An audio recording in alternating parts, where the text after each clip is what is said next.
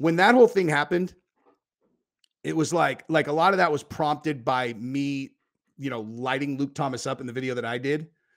And honestly, I mean, I just talked about this before. I went back and watched the video that I did, and I was like, Jesus, like, because I I just like that was a video. I was legitimately just like, I had been choking on the same things over and over and over. And then Luke Thomas said like one or two of those same things I've been choking, and I just blew up on him. And I was like, wow, I went much harder than I realized now. Like looking back, I was like, Jesus, man, that was an aggressive video. But like, that's why whenever he said any of the shit about me afterwards, I just never responded. Like, I was like, he's he's entitled to say that in response to the onslaught that I put on him for, you know, he just kind of ate it for the last like 58 people that I had seen say the same stupid shit.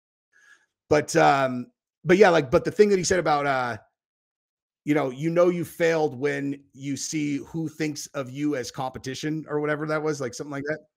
And I just thought to myself, I was like, you think that's a flex, dude? Like, that's not a flex. You know, the fact that because the way I hear that is institution, you know, like like a person who works for like these like larger companies versus completely independent, unaffiliated person who's built solely on talent and you know consistency it's like and don't get me wrong like luke i mean he's obviously very talented he has great takes and he probably would have done very well building on his own but it's like if you think that like like me there there's eh, on youtube any flex against me or guru it's like you do not understand the game that you're in if that's if that's what you think like because the only reason we've blown up is because people have wanted to watch our and they found us based on absolutely no credibility that was provided by an institution or the organization or access to anyone. It was just like,